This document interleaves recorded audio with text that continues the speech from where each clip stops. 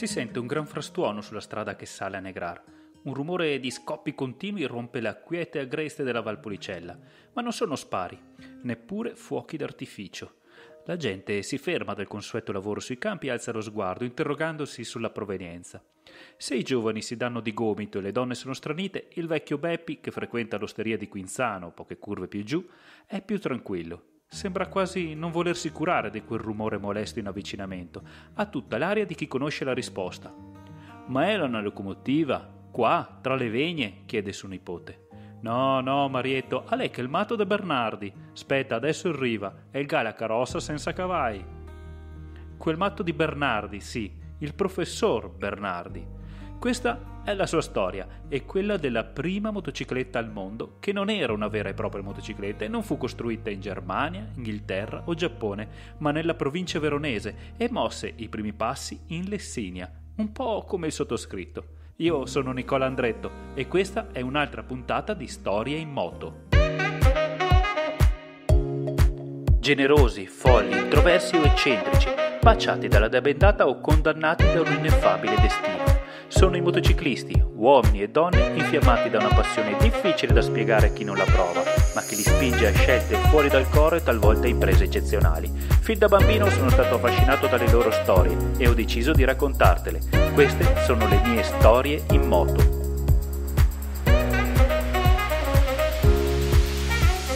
Enrico Bernardi nasce nel 1841 al numero 4 di via San Paolo a Verona ma passa i mesi estivi nella frazione di Quinzano che dalla città scaligera guarda verso i Monti Lessini e fin da ragazzino dimostra una curiosa attrazione verso i mezzi di trasporto, che a quel tempo sono carretti, carrozze, locomotive e locomotori a vapore, dei quali si diletta persino a calcolare le traiettorie. Il motore a scoppio di Barsanti e Matteucci viene inventato quando lui ha 12 anni. Appena ne prende notizia è una folgorazione, il motore lo rapisce più di ogni altra cosa. Soltanto tre anni più tardi, nel 1856, appena quindicenne, si presenta all'esposizione agricola di Verona con alcune macchine realizzate con le sue mani all'officina ferroviaria. Beh, quel ragazzo è un prodigio. Nel 1863, soltanto sette anni più tardi, si laurea in matematica all'Università di Padova e si avvia una carriera accademica agli studi di meccanica in poco tempo diventa un vero e proprio luminare mosso da entusiasmo e da un'incrollabile convinzione. Il motore a scoppio sostituirà la forza animale nella trazione. Nel 1873 effettua uno studio su un motore a gas illuminante secondo il ciclo di Barsanti e Matteucci. È chiaro che sta lavorando su varie forme di combustibile, su varie soluzioni. Bernardi è particolarmente interessato infatti anche ai consumi e alla praticità di funzionamento. Che il motore a scoppio funzioni, per lui, è cosa già assodata. Mentre il mondo ancora si interroga su cosa sia, lui si chiede come farlo funzionare meglio e come far sì che sia effettivamente utilizzabile da chiunque, anche da un bambino. Questo distingue l'animo dell'autentico pioniere dal semplice studioso.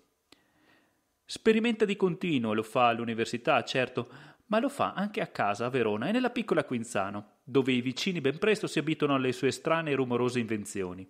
Ce n'è una in particolare che lascia i compaesani di stucco e molti ne lascerà negli anni a venire fino ai giorni nostri. Si tratta di un piccolo motore a scoppio molto ingegnoso. Lo ha inventato per sua figlia Pia e lo ha attaccato alla macchina da cucire. In suo onore l'ha chiamato appunto Matrice Pia, e, cosa più importante, funziona, funziona per davvero. È il 1880. Nessuno al mondo ha ancora fatto nulla del genere. Lo perfeziona, intuisce la sua versatilità, ne vuole fare un motore per molti usi e due anni più tardi lo brevetta. Il pomeriggio del 5 agosto del 1882 entra all'ufficio brevetti e alle ore 14.30 deposita i disegni del motore che ha chiamato PIA, perché ha intenzione di produrlo industrialmente, almeno non appena troverà dei finanziatori. Nessuno prima di lui ha mai progettato un motore del genere. È infatti il primo motore di sempre a funzionare con uno strano combustibile, economico e a quel tempo snobbato che viene detto lo spirito di petrolio. A quel tempo il cosiddetto spirito di petrolio è un sottoprodotto di scarto della distillazione e non ha molti utilizzi, anzi, generalmente viene addirittura gettato nei fiumi. Qualcuno lo acquista in piccole quantità in drogheria per smacchiare i vestiti, ma ha quell'odore forte, nauseante. Insomma, non è decisamente un prodotto di successo, ma la sua storia, proprio a partire da quel 5 agosto e da quei disegni di Bernardi, sta per cambiare. Nello stesso periodo anche altri ingegneri sono al lavoro sul motore a scoppio. Il 25 ottobre dello stesso anno Karl Benz in Germania deposita un brevetto analogo e anche un altro tedesco, Gottlieb Daimler, il 16 dicembre del 1883, ne registra un altro che utilizza sempre lo stesso prodotto di scarto, questo, questo idrocarburo aromatico conosciuto come spirito di petrolio, appunto. Solo che qui non lo chiamano così, ma ne derivano il nome dall'acido benzoico da cui deriva. Lo chiamano benzin. A quanto pare è questa la chiave di svolta per il motore a scoppio ed assieme si apprestano alla propria ascesa su scala mondiale. Ma torniamo alle porte di Verona dal nostro pioniere. Alla figlia Pia si è aggiunto nel frattempo un maschietto che il professor Bernardi ha chiamato Lauro come il nonno. E al piccolo e vivace Lauro non può certo offrire una macchina da cucire. Così rifà il motore Pia, lo migliora e ci costruisce attorno un piccolo triciclo di legno per il figlioletto. Quando scendono per le vie di Quinzano a provarlo è il finimondo. Incredibile, si muove davvero e funziona con l'economicissima benzina. Nessuno ha mai visto niente del genere e come potrebbe? Non esiste nulla del genere. È il 1884 e quel triciclo è il primo veicolo a benzina mai costruito ma non è destinato ad avere fama ancora per moltissimo tempo. Nonostante Bernardi lo porti all'Esposizione internazionale di Torino e conquisti il primo premio, si parlerà a lungo e molto di più di quello che costruirà Carl Benz qualche mese più tardi e che viene unanimamente ancora oggi riconosciuto come l'antenato della motocicletta. In quel momento tutto questo non importa un granché e nessuno sa o si chiede chi verrà ricordato per aver inventato la motocicletta, aggeggio che di fatto non esiste L'unica certezza che abbiamo oggi è che il brevetto del piccolo triciclo di Bernardi arriva prima di quello di Benz. Ma il suo ingegno non finisce qui e c'è altro che ci fa ricordare il professor Bernardi quale padre della motocicletta.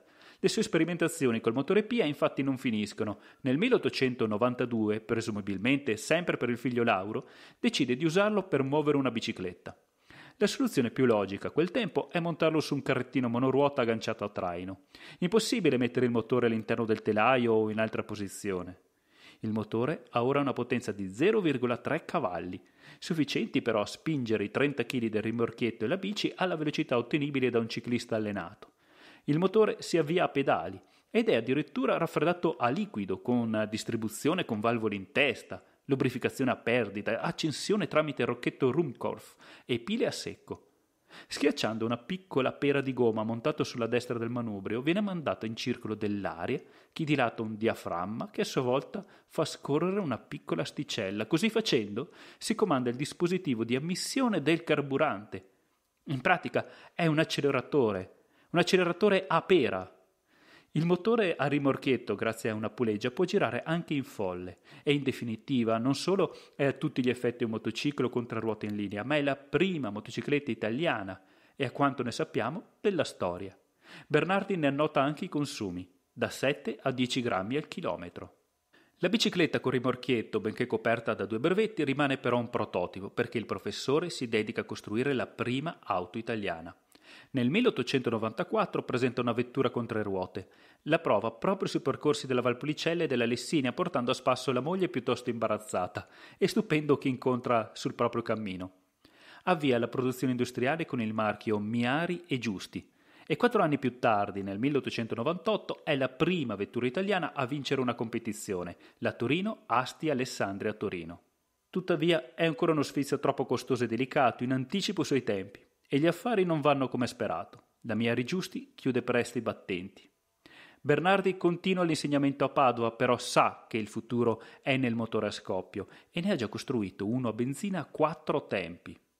Ed è proprio mentre è a Padova che un giorno gli si avvicina un gentiluomo torinese che ha appena avviato un'attività con alcuni soci.